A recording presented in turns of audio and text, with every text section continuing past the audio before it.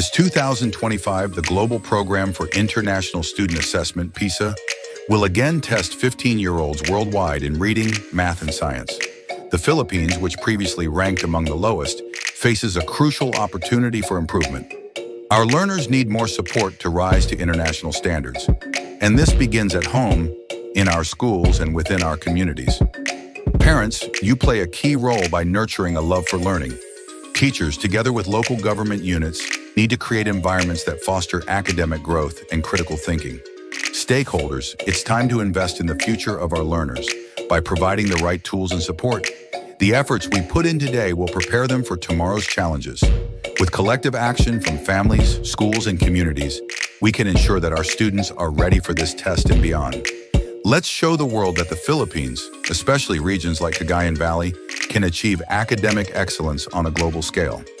Together, we can make the Philippines the best in education.